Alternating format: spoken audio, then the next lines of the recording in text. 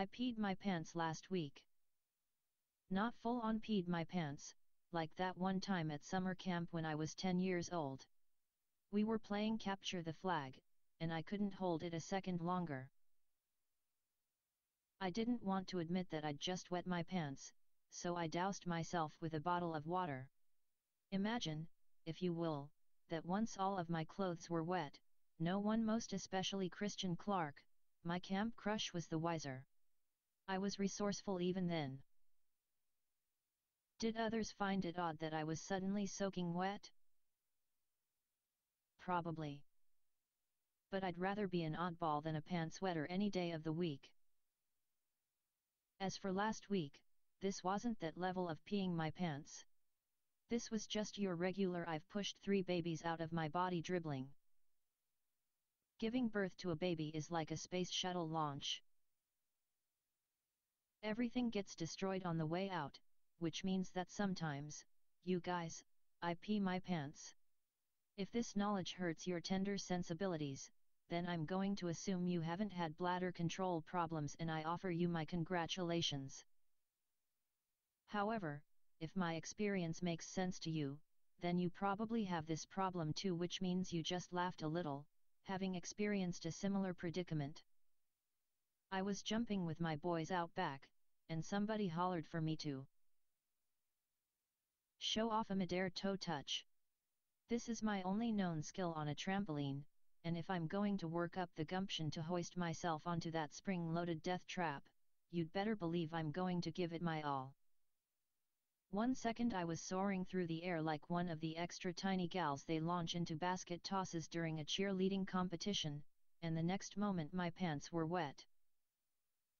Nobody noticed unless you count my pride but it happened just the same. I had to keep jumping so that the continuous wind rush would dry out my shorts. I'm resourceful, remember? The timing was perfection, too, because not 30 minutes later, a previously programmed Facebook post went up showing me trying on dresses for the Oscars. Before you get the wrong impression, I am not fancy enough to go to the Academy Awards. I am, however, married to someone ultra hunky. He's not really fancy either, but his job certainly is. That means that sometimes I get to wear dresses like a princess and drink free wine in well-lit ballrooms. In these instances, photos show up on Instagram or Facebook of us looking well coiffed and ultra glam, and the internet goes wild. This is prime real estate for people to write me notes about how glamorous my life is, how stylish and fashionable and perfect my world must be. And all I can think when I read those comments later is, I've just peed myself, in public, surrounded by other human beings. I've literally gone to the bathroom in the air while trying to force my hamstrings into unnatural gymnastic positions in order to impress my three-year-old. Y'all, I'm about as unglamorous as you can get. And I don't mean that in a celebrity, stars are just like us kind of way. This is not like that time Gwyneth went makeup free and, with her perfect skin and her angel blonde hair, tried to convince us she was just a regular gal even in her $400 t-shirt. No, I mean this literally. I am not glamorous. I am 1000% one of the nerdiest people you're likely to meet. If I've somehow managed to convince you otherwise because I run a lifestyle website with pretty pictures, or because my hair looks extra shiny on Instagram sometimes, well, sister, let me set you straight. I am not a perfect wife, not a perfect mother, not a perfect friend or boss, and most definitely not a perfect Christian. Not even. Close. I'm not perfect at anything I do well, except for making and eating dishes that are primarily cheese-based but the other stuff, the life stuff? Oh girl, I'm struggling. I feel like it's important to say that. Important enough to base an entire book around the idea, in fact, because I want to make sure you hear it. I am so incredibly flawed in big ways and small ways and sideways and beside ways, and I make a living telling other women how to better their lives. Me of the workout regimens and DIY skin brightening scrub. Me with the tips on cooking Thanksgiving dinner and the itemized list of how to parent your kids. Me I am failing. All. They. Time. This is important because I want you to understand, my sweet, precious friend, that we're all falling short. Yet even though I fail over and over and over again, I don't let it deter me. I still wake up every day and try again to become a better version of myself. Some days I feel as if I'm getting closer to the best version of me. Other days I eat cream cheese for dinner. But the gift of life is that we get another chance tomorrow. Somewhere along the way women got the wrong information. Or, I should say, we got so much of the wrong information that we washed our hands of the whole thing. We live in an all or nothing society that says I need to look, act, think, and speak perfectly or just throw in the towel and stop trying altogether. That's what I worry about the most that you've stopped trying. I get notes from readers and see thousands of comments on my social media feeds. Some of you feel so overwhelmed by your life that you've given up. You're a piece of jetsam being tugged along with the tide. It feels too hard to keep up with the game, so you've quit playing. Oh sure, you're still here. You still show up for work, you still make dinner and take care of your kids, but you're always playing catch up. You always feel behind and overwhelmed. Life is not supposed to overwhelm you at all times. Life isn't meant to be merely survived, it's meant to be lived. Seasons or instances will inevitably feel out of your control, but the moments when you feel like you're drowning are supposed to be brief. They should not be the whole of your existence. The precious life you've been given is like a ship navigating its way across the ocean, and you're meant to be the captain of the vessel. Certainly there are times when storms toss you around or cover the deck with water or break the mast clean in half but that's when you need to fight your way back, to throw all the water off the boat bucket by bucket. That's when you battle to get yourself back to the helm. This is your life. You are meant to be the hero of your own story. This doesn't mean you become selfish.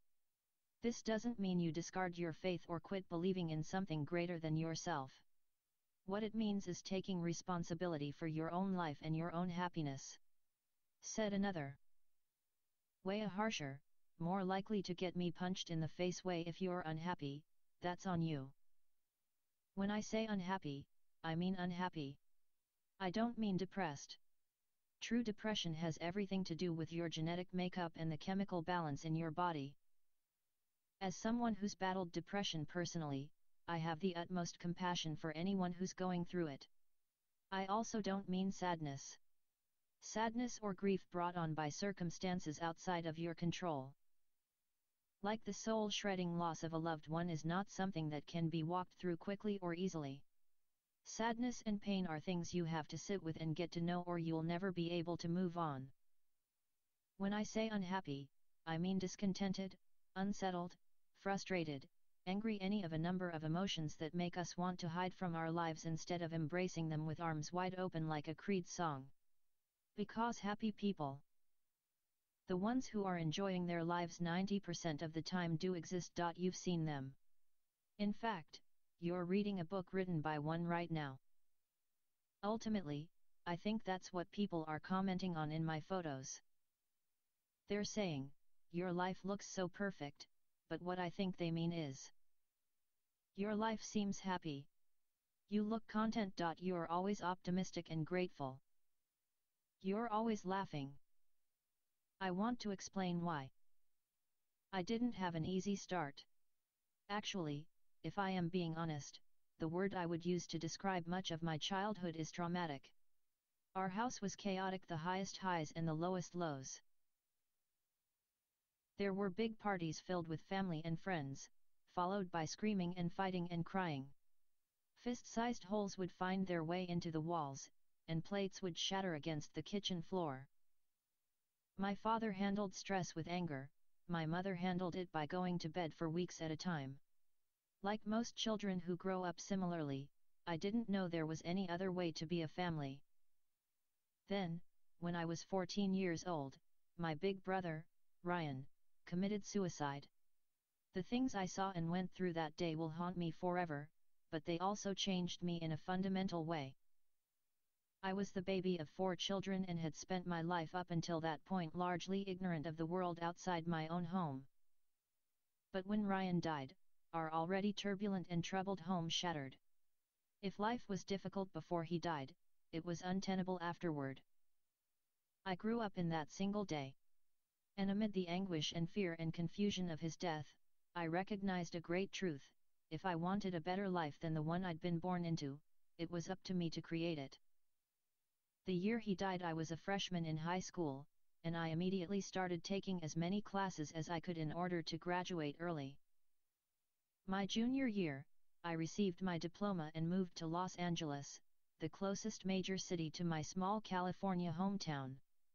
To this country mouse, LA seemed like the kind of place where any dream could come true. I was 17 years old, not even grown up enough to get a phone line or sign the lease on my apartment without an adult signature, but all I could focus on was finally getting away. For years I'd lived within the chaos of my childhood home thinking, someday I'll get out of here, and then I'll be happy. How could I not be happy in LA? I soaked up every inch of it from the second my feet hit the ground. I absorbed the frenetic energy of Hollywood and adapted to the rhythm of the waves rolling to shore along PCH. A multidimensional skyline made me feel worldly. I appreciated the kind of views that only an outsider would see.